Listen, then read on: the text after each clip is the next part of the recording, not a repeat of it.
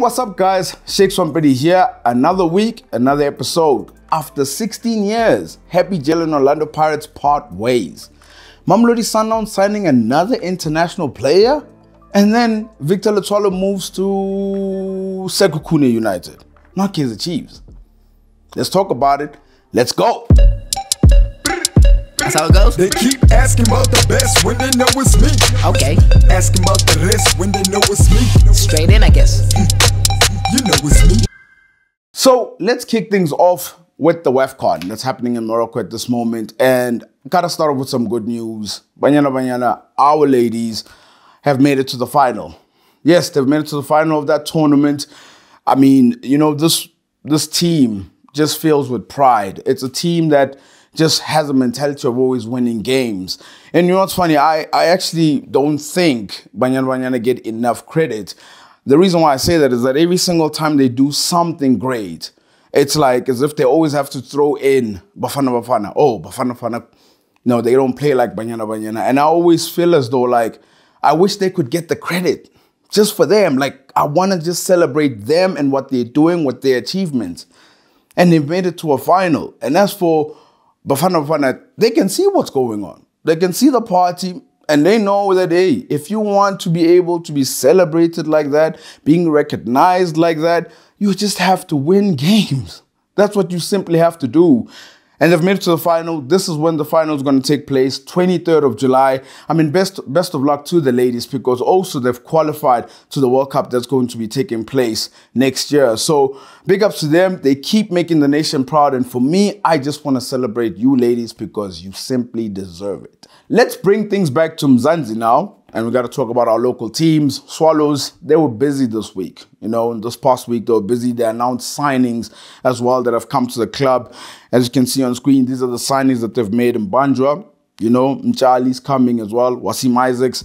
But I got to tell you, the the signing that impressed me the most has to be Keegan Allen. I, I mean, how Swallows were able to coup such a player.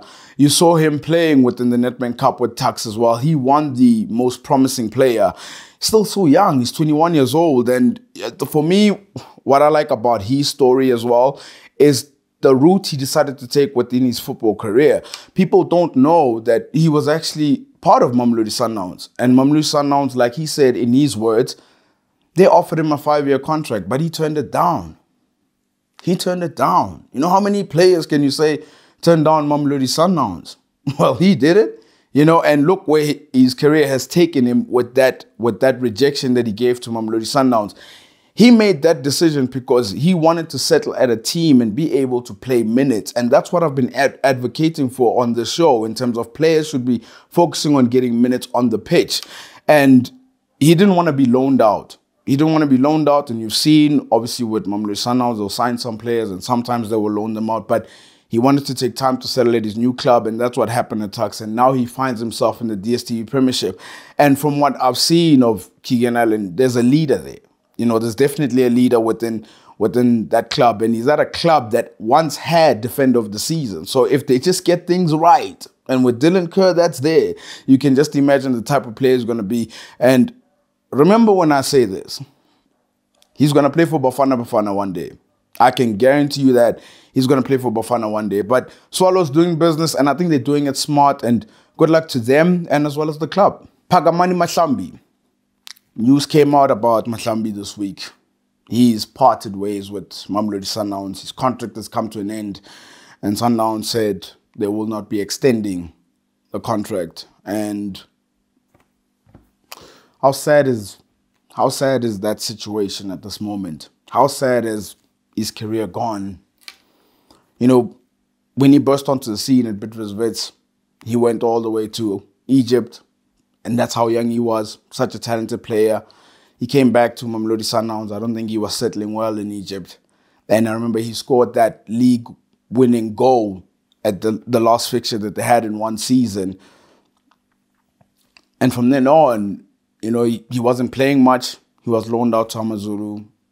And then he went to Chippa United. Both moves didn't work out. With the Chippa one, you could probably argue that it was the long-term injury. He's only 24 years old. And with all of that that's happened, that I've just stated, he's only 24 years old. And then there's also that story with him and what's happened with the national team and coming into poor condition as well. And you know what? I'm I'm upset. I'm sad because, you know, I love this game and I love this game with a passion. And I know I'm not a great footballer. That's why I don't try. I can just talk about it.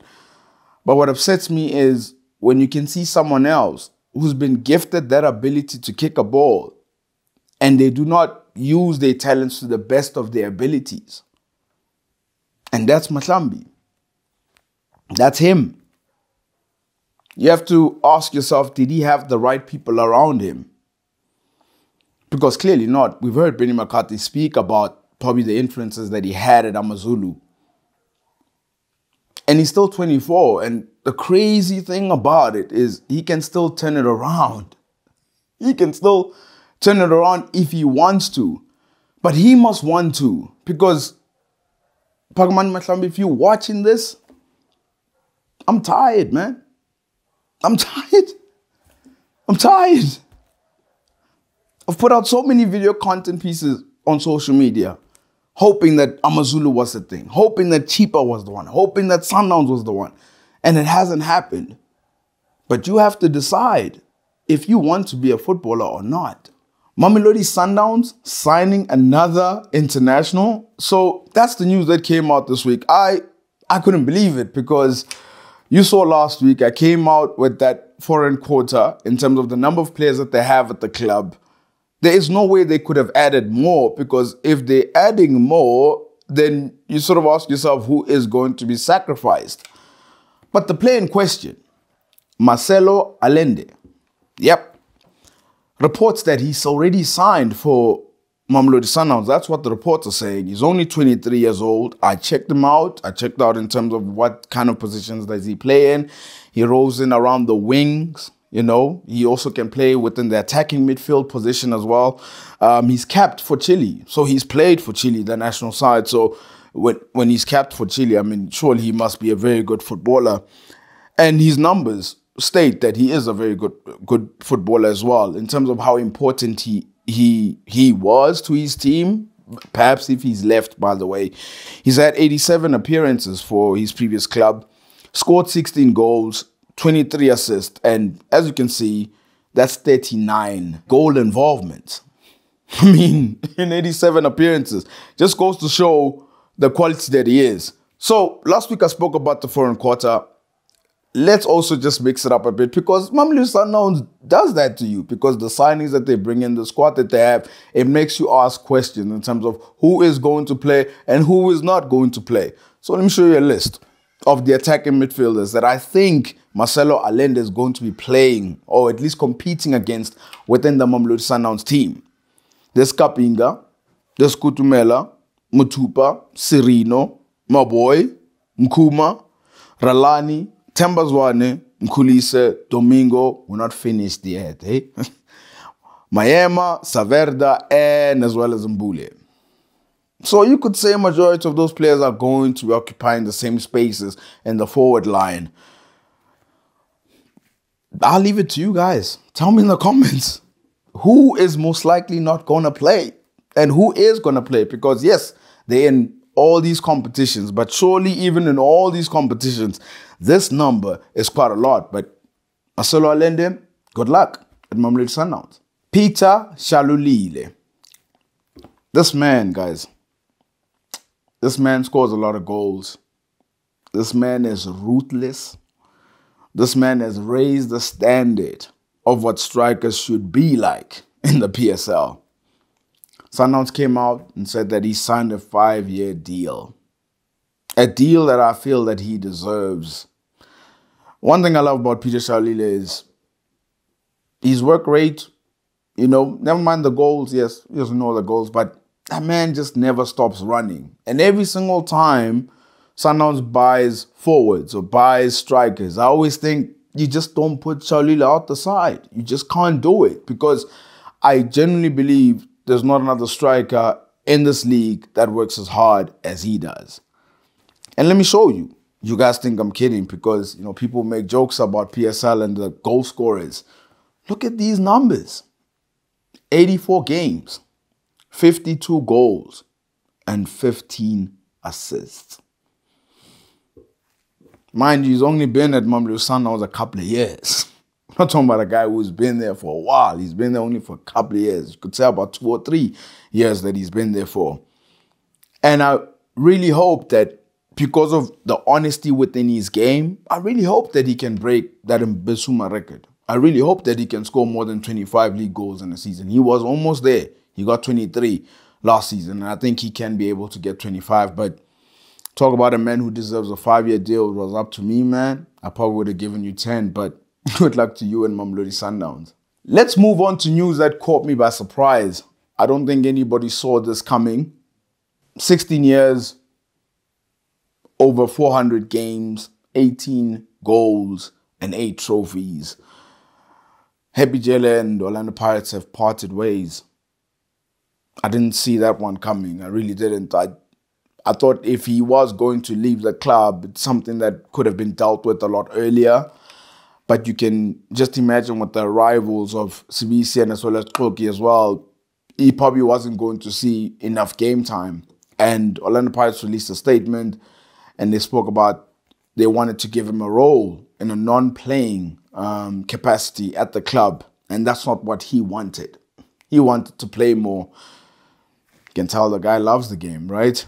And he's been a model professional. I think he's been a model professional. I think he is more in the mold of Buffon, in the mold of players that stay at one club for such a long time. Paul Scholes, Ryan Giggs, you remember those players that just stayed at one club the whole time. And him, Happy Jele, you can't separate him and Orlando Pirates. That's just it. I can't even begin to imagine what he would look like in any other kit.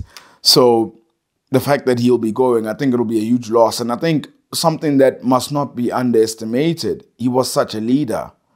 So if he leaves the football club, who's going to lead next? Because that leadership position, it's not just about coming onto the pitch and and and wearing the armband and looking cool and looking fancy. It's also about having to uphold the club standards, and that is something that he's done throughout his career. So Orlando Pirates have a headache on their hands in terms of trying to replace him from a captain's role, but I think he would still be a beneficial signing for any other club, um, any other club that is trying to survive relegation, probably get into the top eight top four as well. Just his experience as well. And Happy Jele, I salute you, man. You have been great at Orlando Pirates. Not too much drama with regards to the way that you played on the pitch.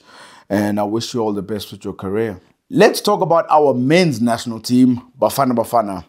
They participated in the COSAFA Cup, and unfortunately, they did not win the trophy. Um, they got the second place trophy within the COSAFA Cup and that is the plate. Not what we obviously wanted, because we wanted them to retain um, the competition. I think what was confusing for me having to watch the games that Bafana played is the players that were selected. I didn't understand what was really going on or what was the criteria that was used to, to pick the players. And then eventually you start reading reports and you get a sense that, oh, they're trying to prepare the under 23s. So it's not necessarily the first team um, players that are playing, they're trying to prepare the under 23s. And I think also the format of the competition hurt them because they immediately qualified for the quarterfinals. So they were not part of the group phase. And because there were so many players and they were brand new to wearing the Bafana jersey, it just took them so long to get the hang of it. Also to get that fluidity as well amongst the team. It just was not there. And you could see it within the games. But eventually as the tournament went on, hence why they went on to win the plate. And this was preparations for the Chan tournament that's going to be happening next year. And I would love it if Bafana Bafana stuck to it. I would love it if they stuck to these players that they picked. Of course, there's reports that some of the players won't be able to go because they do not have their passport. So I would sincerely hope that every player within this country, whether you're playing at the Motsepe Foundation Championship or the DSTV Premiership, or even you'd say that with ABC Motsepe League as well, just make sure you get your passports because reading that story was, I mean, that's something you have to sort out. So I would hope that they keep the squad, and I'll be watching them very closely. Sekhukhune United have signed another player by the name of Victor Letsoalo. Goal scorer at Royal AM, scored a number of goals, was was valued highly at the club. But the surprise of all this news was the fact that he did not go to Kaizer Chiefs. As it was rumored that he was going there, he went to Sekhukhune United. And you sort of look at the amounts that were being spoken about within the reports. I don't really want to get into that. I would rather focus on the fact that Sekhukhune actually got themselves a very good player. A player who was second behind Shalulile in terms of the top goal scorer for the Golden Boot um, within the league. Now, here's all the signings Sekhukhune have made. You know, consider the fact that they have released 12 players, but these are the new players that they're bringing into the club. You can see that you got Daniel Cardoso, you got Tshegofatso Mabasa, you know, you've got now Victor Letsoalo. I got a question for you guys that's watching. Where do you expect Sekhukhune to finish with the squad? Because when I look at these names and the experience that these players have, I would like to think Kaitano Tembo has to get this team within the top eight. But let me know what you think in the comments. It is time for the bet of the week. Yep, it's that time of bet of the week. This is where I show you my bet slip, hoping that it lights in green. And the good news I can tell you, I won again. I tell you, man, this feeling, this feeling feels good. As you can see on screen, there's the bet slip. It all came out right. I can't, I mean, it's amazing because also not only are you watching women's football a lot more, but now you're even getting sort of money to get the snacks to watch more women's football, which is great. So this week, got two games. Just two? Just two. You know, you don't want to get too ahead of yourself when you're on this winning streak. So England going up against Spain. It's the women's. I think this game is going to be very close, but the England team have scored 14 goals within the Euros already. And I just think they have the capacity to, to score more than Spain. The next one, club friendlies. Yes, the club friendlies are back. So the big teams are playing again. Manchester United is playing, Arsenal is playing, Liverpool is playing, Leipzig is playing, Crystal Palace is playing. They're all playing, which is great. Another club friend they'll be playing is Red Bull Leipzig going up against Liverpool. I see goals in this game. I he goals, and I think also because there's too much experimenting going on. You know, there's not too much structure within the games as well. So I think there will be more than two goals within that game. And as you can see, my odds are sitting at 3.28. So for those who don't really understand betting in a sense, it's you take the amount that you're betting on and you times it by 3.28. And that's how much you're getting back. Three times, guys. You get three times your money back. So that's going to be my bet slip. Always remember to place your bets at betway.co.za. We've come to the end of the show, and always got to leave you with something. The PSL heard my cries. They've released the fixtures. 5th of August is when it starts. And as you can see, that's the first weekend on your screen, the first weekend of the DSTV Premiership. Which fixture are you looking forward to? Because I gotta tell you, that Cape Town City going up against Mamelodi Sundowns looks tasty. Don't forget to like and subscribe and hit that notification bell so that you're notified for future episodes.